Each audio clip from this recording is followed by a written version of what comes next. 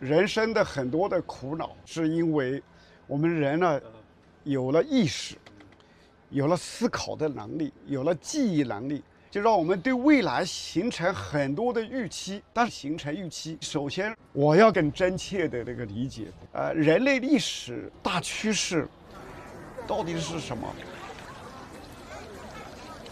在一七年十二月，有十八位这个考古学者在那个《Nature》这个自然啊杂志上面发表的一篇论文。这十八位考古学者呢，就是想回答一个很简单的问题，就是人类，呃，放弃原始生活方式以来，这一万两千年左右的时间里面，人类的收入差距、财富差距，越来越扁平了，越来越缩小了，还是越来越扩大了？哈。当然，很遗憾的就是啊，这十八位考古学者的这个考古证据啊的研究发现呢，每次技术进步，都导致了这个财富差距的恶化。嗯，以新技术发明出现了，有的人根本就不会去学这些新技术，而另外一些人呢，即使学了，也不能够把这个新技术带来的潜力呀挖掘出来。嗯，就越往前走，就越使得。人类一百个人里面，能够创造最多的财富的人，越来越是一个很小比例的人。当然，另外一个问题就是更悲观的哈，就是过去历史上有没什么办法，啊，人类的那个财富差距啊，这个是可以下滑的、下降的哈，也有了大规模的那个群体暴力，嗯，就战争嘛，战争。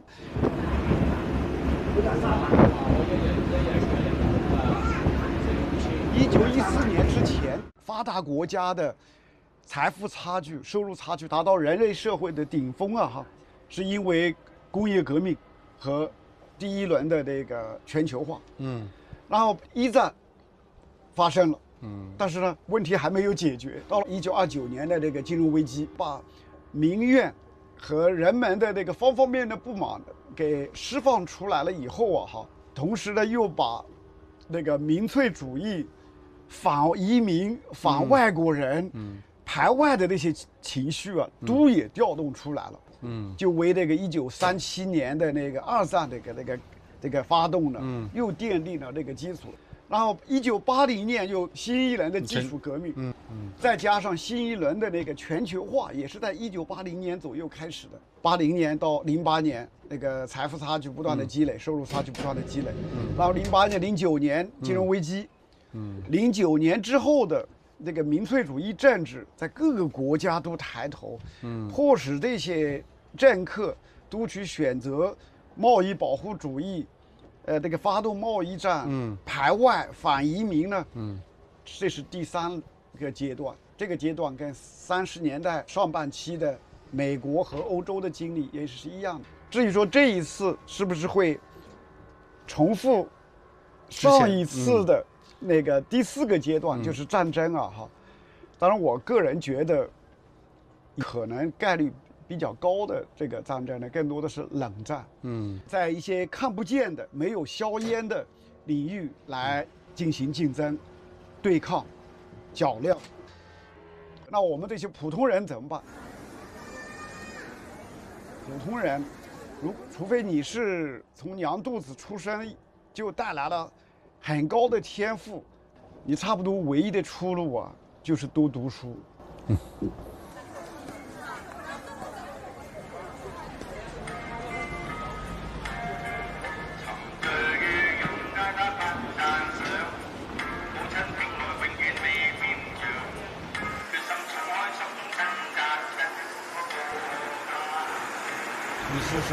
今天上午。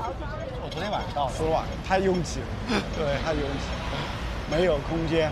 而且我不喜欢人看起来都很有效率的样子，我不喜欢，太太不放松了。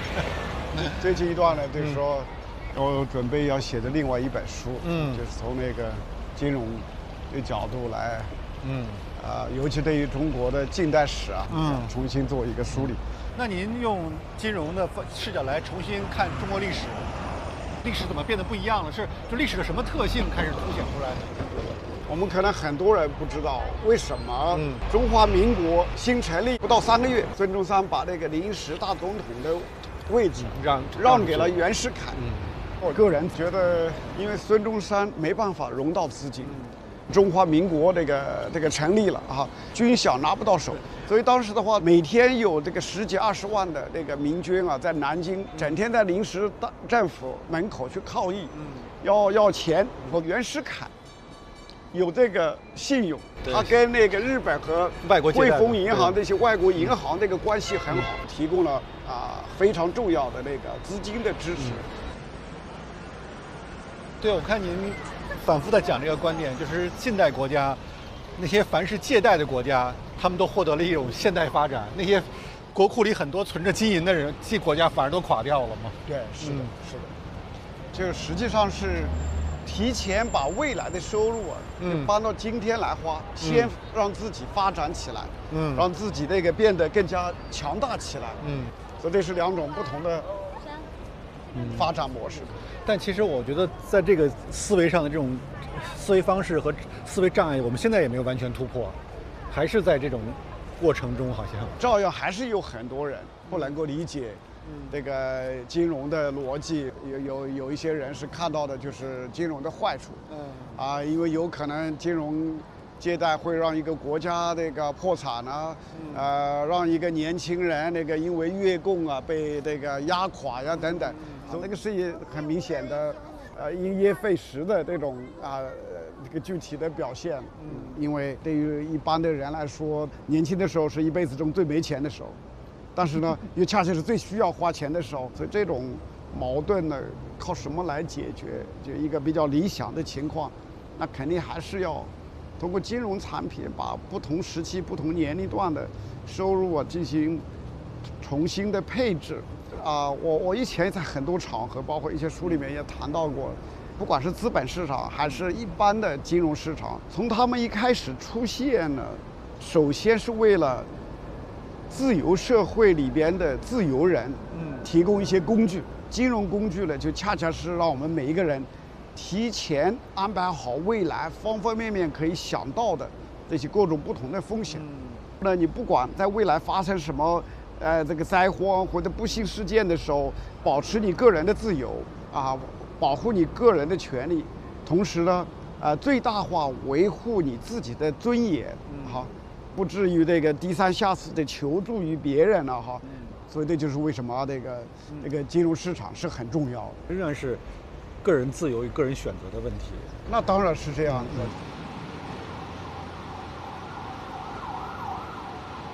那比如说，我们现在坐在香港，包括本地香港人，他觉得这个城市是被巨大的金钱所统治的城市。就是说，金融既可能是通往个人自由的方式，也可能是一种新的掠夺的手段，就是都这两者是并存的嘛。就是你对您来说，这种实现个人自由过程中，这个经济自由到底展起到一个多大的作用呢？它的在做这种讨论、思考和判断的时候，我们必须得要承认一个一个事实，嗯一个现实，就是现代经济啊，离开金融是不行的。嗯就现代经济跟那个原始社会的经济，这个最大的差别之一呢，就是这不许拍是吗？不让拍吗？这是公共场所，要申请。申请嗯，那好吧，我们走呗。两人不好意思啊，啊，啊？怎么会？挺好的，就是金融的发展突然被打断了。小时候您什么时候回去？大概时间是什么时候？看您这，大概四点以前。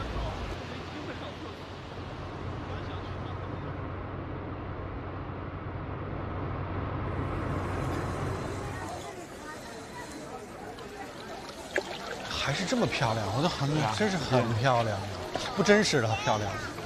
第一次来颐和园啊、应该是八五年，嗯那个时候我在国防科国防科大读研究生，嗯。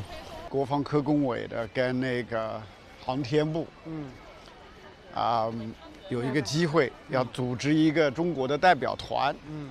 去瑞典嗯。参加那个一个世界航空航天大会。嗯。啊，然后我们校领导呢，他们知道有陈志武这样的一个研究生，英语好，呃，英语还不错哈。呃，在那年十月呢，就第一次到这个，先到北京，啊，那是我第一次走出中国，实际上也是第一次到北京来，就顺便在这里。啊，那等于第一次出国。对，嗯，您不介意吧？不是，我就坐着不介意无所谓。对，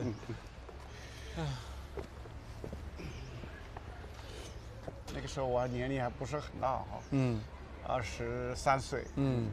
第一站呢是在那个苏黎世，我们当时坐在那个一个小巴上面，嗯。然后呢那个车啊就是每隔一会过一会儿它又停一下，嗯。每过一会儿又停下，我当时就觉得奇怪，周边也没有人，也没有别的车，嗯。它为什么这个过一会儿又停一下，过一会儿停一下？因为我们在中国到那个时候为止还没有这个习惯，就是红灯和绿灯的这个区别，你知道吗？所以我就觉得，哇，这个是效率多低啊，是吗？没有人也没有车，为什么嗯还要停停下来？嗯所以这个事儿是让我后来一直很多年嗯都没有忘记的。啊，每一个人都是那么遵守的一些规则，让让我当时这样的第一次走出中国的人来说，就觉得很不自在。这个规则问题就开始，就等于埋在您心里，开始想这些问题嘛。什么时候你开始想明白了啊？原来是这样的规则，反而是有效率的。这个是很多年吧，因为坦率讲，就像我现在我还在在具体的想怎么更通俗的解释这个东西，啊解释这个这个这个人类的历史演变哈，因为原来的这个社会。实际上，任何意义上的次序都是没有的。嗯，因为本身的话，就世界的人口啊、有几万年的时间里面，大概只有几百万个人啊，所以这个这个地球这么大啊，所以这几百万个人随便散布在哪里都是啊用不着这个分为把各个东西分成为你的、我的、呃他的。资产是不是私有的还是公有的？嗯，那个时候没这个概念了哈。从原始社会开始，进入了定居农耕了以后，走出这个农耕社会啊，慢慢转变到这个工业社会的过程中间，呃，都要建立啊各种次序的挑战是很大的。啊，我们可以坐这船是吧？挺好。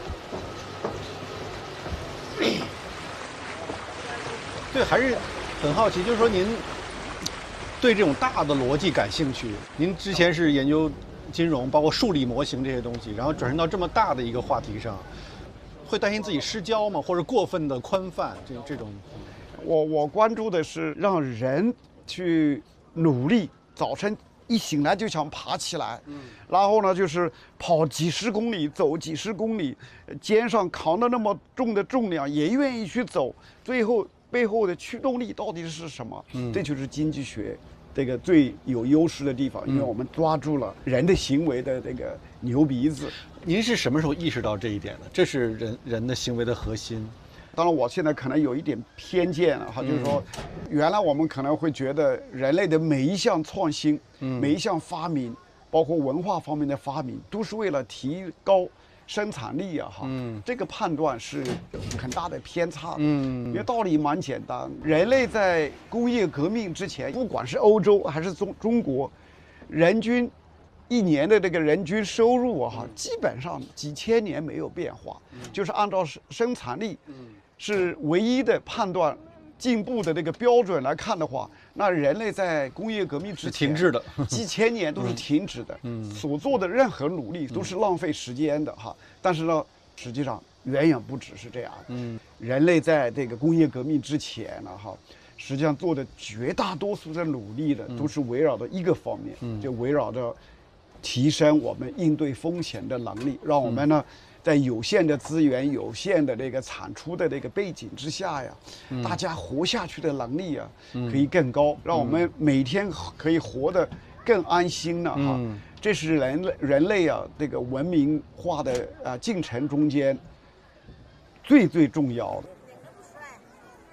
那么我们就是怎么样提升我们应对风险的能力？在几百年里面，西方社会呢经历了啊一波又一波的这个创新啊，风险保障的这种功能呢，也越来越多的有这个金融产品来取代了。你说这样一个进程，就在中国历史上也没怎么没出现过吧？应该是中国历来没有发展出来类似于今天的保险行业、现代银行业，更不用说证券行业、退休基金行业。顺着来说，就是因为呃我们中国人靠这个这个孔家店，我们讲的养子防老啊，多子多福，要通过生小孩啊，生很多个儿子，一个大的家庭、大的家族、宗族，就是一个内部金融市场。有了钱啊，呃，我们一起要分摊啊，共享。如果说有这个苦难的话，也要共担。逢年过节还有其他的时候，呃，有什么呃呃小孩上学也红帮你管红白喜事啊哈，儒家文化支持建立的这个大的家族，呃宗族就可以给我们提供足够好的安身立命的这个保障了。啊什么时候有需要的时候，都可以靠族人提供那个帮助哈，就使得中国社会的应对风险的能力啊大大的提升。另外一方面，我们也可以反过来看，就正因为这个孔家店给我们中国人啊，呃，一直是提供这个安身立命的保障，就让我们就不愿意去对那个儒家文化进行反思和挑战。所以这样一来的话，让那个儒家文化对我们面对的没有个人啊、没有权利的这个体系啊，呃，也不得不接收下来。就像我们过去这些年经历过的，原来的话做计划计划经济时期，我们从出生到摇篮，啊，很多的人呢可以靠那个国家。后来的话要搞市场经济的时候，我们都每一个人都裸了，嗯，又让我们中国人又留恋。留念那个、这个这个计划这个计划经济的时代，因为那个时候是让你感觉到一个大家族的温暖，所以这个这个捆绑呃这个搅和在一起以后呢，到最后的话没这个外部冲击力发生的时候，呃，这个死局啊是走不出，很难走出来。那您觉得经过这个二十世纪这种动荡，对这些传统的打破，然后包括这过去四十年的发展，我们是走出了，是可以走出来的吗？还是说，并没有？我觉得是蛮难的。这是我们这个时代在座各位，嗯我希望你通过你报告世界，是最大的机会产生了，大发财的机会产生了。您觉得中国人为什么那么想发财呢？您觉得？长期的贫困，五千年的贫困给我们积累下来的教训就是，要击鼓防饥，养儿防老。对您个人来说，我什么时候突然你就一下子发现自己有经商的天赋的吗？对对钱的那种理解，好像，我觉得他们怎么会感觉这么难呢？我想不没有很难，我们觉得很难，是吧？是吧？嗯从来没觉得很难。这也是天赋。嗯，我在牢里边儿，嗯，我得可以赚钱。呃，怎么弄呢？嗯，我我没有饿死，我没我我就是第一次坐牢没有吃的，就把我放在一个叫大耗子，就关很多犯人那些人，那里边儿就放在那里边儿。还有时候我想到一个生财之道，我每天给他们讲故事。我看过那王都庐那十十六本王都书庐是吧王都庐嘛，就是武侠小说开开山辟祖。因为那个监狱里面有什么娱乐呢？我讲故事啊，我没力气讲了，我躺在那儿，大家都要给我饭吃。通过讲个故事来融资是吧？讲个故事来给我吃饭嘛，至少是我真的，我现在有挣了钱了嘛，是不是？呃对对对我就活下来了嘛，我是这样活下来的。嗯所以这个模式很早就开始了。我说，我后来不讲更大的故事了吗？讲讲卫星的故事，讲啊是是吧？讲飞机的故事。刚才我说的那个故事就是，金融本质是跨时间的价值交换。你要讲个故事，这个保证的故事一定成功，自然有人把钱给你。就如何能够说服大家给你？但比如说，在九十年代，您讲了很多伟大的故事，那个换飞机肯定是最成功伟大的故事，但后面的故事就没有那么成功，你觉得原因是什么呢？其实卫星比飞机成功的多。嗯，很多人帮我呀。中国最成功的滑雪在美国，叫李新林，他参与了美国硅谷的筹建。嗯他最高职务是美国 AT&T，就美国国家电报电话公司的一个副总裁，是华人最高的职务了。他把我介绍给一个美国卫星之父，唐纳德。我由我出面把他的卫星设计公司买了，我俩跑到硅谷去，很便宜，很便宜。现在想起来真太便宜了，多少钱？一百六十万美元，一个设计公司，就就几个人嘛。其实如果说那个事儿发展下去，中中中国现在当时那个比尔盖茨我们谈，就是巴贝克卫星把地球包起来，嗯，就我们开始搞低轨道卫星，搞七颗卫星，东南亚覆盖。如果说当时不把我们抓起来，卫星可能变成中国非常大的产业。你们本来是伊隆马斯克的这些事儿哈，哎呀，我我认为我在在逐渐的认识这个时代，我这个有些成功的话不是我的成功，这个时代进步，只是我跟着的时代走，不是我有到达本领，不是不是，但这个东西都要出现偶然性，一个偶然，你掉队了，那是你自己的问题。那您怎么看？比如你老部下冯仑对您那些批评呢？是一个特别了不起的战略家，但是跟下面的是脱节的。您怎么看待这种批评呢？我认为我肯定脱节。嗯，思想者是孤独的，是不是？走吧，吃饭您状态保持的非常好啊。啊！我天天锻炼。嗯，哇，他不认识我的。哎，蒙其中，以前那个难得最有名的不就是食堂吗？哎食堂说特别好吃，川菜是吧？啊现在食堂怎么也是这样好吃的，是吧？还是好吃。嗯我这真的很好吃，看着。你现在火锅吃的还多吗？啊，火锅吃的还多吗？嗯，我我不太吃了。麻烦，给我跟我人生一样，越来越简单。那你们也吃啊，你不要老造啊。我们公司那帮人哪儿去了呢？咱们过来吃呗。哎，叫他们过来吃，过来，快快快快过来吃。当时您这么多手下，谁最聪明啊？最敏锐？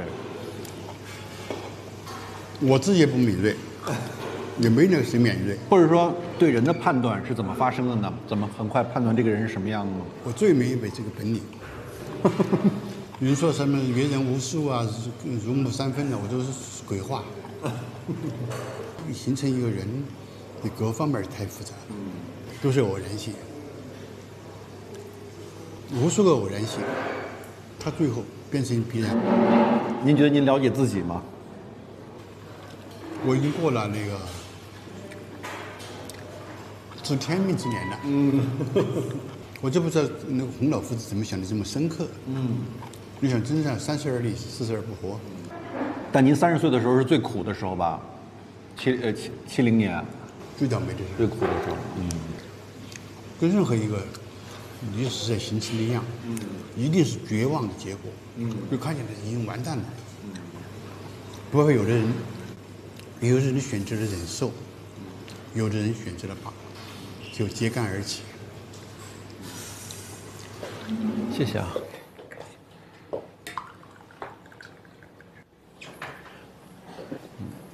刚才您说思思想思做思思想者是孤独的，您怎么应对这些孤独呢？我只拼命。我不想成为一个思想家。我希望我用实践来证明我的思想正确的。我们五十年代很学了很多马克思主义，我就想了很多，开始想中国向何处去。但是想过去想过来，天天挨斗啊，思想太复杂。思老师我思想复杂，主要是挨斗，主要是如何能够争取一个生存的权利。成分的问题。啊，家庭出身嘛。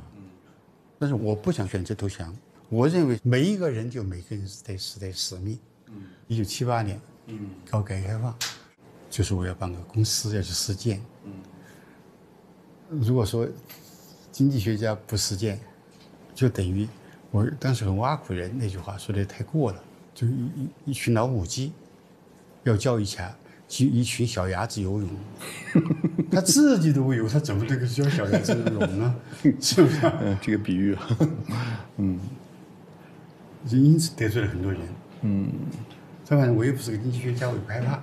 嗯，我只要做生意能赚赚钱能吃饭就行。嗯，第一次什么时候感觉到，哇，这是我真是挣了一大笔钱，这个钱对我的对我是有冲击的、有影响的。有八十年代初的时候，最早的。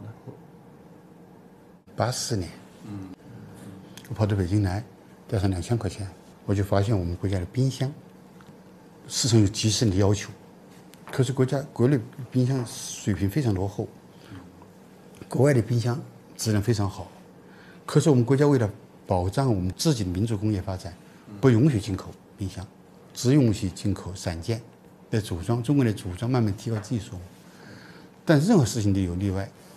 就什么呢？如何界定什么叫冰箱，什么叫冷冻机械？同一个文件就鼓励进口冷冻机械，三百六十一升以上就叫冷冻机械，三百六十厘升就叫冰箱。我就把这点看准了，去南韩订一万台，三百六十厘升，定量身定制，我就算冷冻机械了，那国家不控制，大量进口。我赚了很多钱，嗯，那次赚了多少钱？一千五百万。哇，八八七年啊，嗯，赚了一千五百万，哇，巨大的一笔钱，哇，简直现在想起来那时候不可思议啊！对，哦，我那时候说，那赚钱太容易了。嗯，遇到最大的一次挫折是哪一次呢？好像我认为都是挫折，但是都是我前进的一个阶梯，我就不认为它挫折了。从来没有觉得哪个挫折是过不去的，那肯定能过去。或者说，怎么面对那种自我怀疑呢？肯定会有很多自我怀疑吧。那就是我一九九二年四月二十一号嘛，那怎样？一架飞机，我从广州回来，飞机掉下来了。嗯。啊，飞机里边啊，行李飞机我把手都打断了，飞机那个座位都扭曲了。嗯。居然摇摇晃晃的飞到北京来了。嗯。我也没死，我很多次死亡，就要要命枪毙啊，飞机掉下来了呀，瘟疫呀，饿饥饿呀，好像都搞不死我，我甚至迷信了。你像我小时候几岁的时候，养鸽子，我把那屋上房顶上去了，掉下来了，地下全是青石石头。我的故事人很奇怪，我还想过要死了，结果掉到缸里边去了，一个水一个，那是一点毫发无损。嗯，在九岁的时候，十九年，嗯，就那年，嗯，我认为人生最重要的就是信心，嗯，信心，信心。我相信我，天生我材必有用。嗯，千金散尽还复来。我们的老乡李白。嗯，就三代王性格。嗯，三代王。嗯，那你不怕这是盲目的信心？因为这十多年发生好多变化嘛，包括商业世界也发生很多变化。你会看到马云这些名字啊，马化腾这些人。重组资源当然是企业家最根本的一个能力嘛，但后面它是需要非常多的细节来完成，组织的力量来帮他完成。山大王在一个越来越规范的社会社会里面，会觉得那种受困的感觉吗？不是，它价值怎么产生的呢？就是劳动价值论，他只要付出劳动的，就一定可能产生价。